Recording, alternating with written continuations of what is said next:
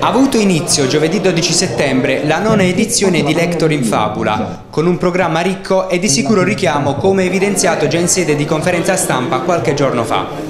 Gli incontri di quest'anno sono legati a tre parole chiave. Divari, squilibri, diseguaglianze. Abbiamo chiesto al direttore del festival, Filippo Giannuzzi, il perché di questa scelta.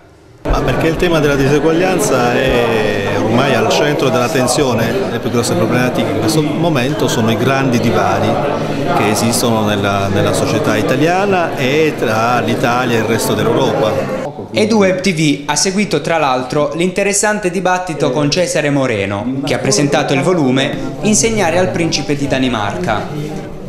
Una scuola che parte dal, dal dolore, dall'espressione del dolore e Giancarlo Visitilli, autore di E la felicità, prof.